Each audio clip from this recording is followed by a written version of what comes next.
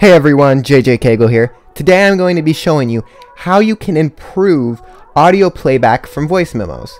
If you use voice memos a lot and you wish your audio quality was just a little bit better, then this video will help you. So what we need to do is we need to go to settings and then we need to scroll down to the voice memo settings. Once we've gotten to the voice memo settings, we're going to go ahead and click on it and then we can see this audio quality. Go ahead and click on that and then change it from compressed to lossless. What lossless means is it's going to store your audio in its original bitrate. So what compress what compression does is it's designed to save space by taking the original bitrate and taking out what's what uh what's not necessary. Unfortunately, compression tends to make you lose some audio quality, whereas lossless stores that original audio file in its full bitrate without taking away anything, thus giving you the best audio you could possibly get.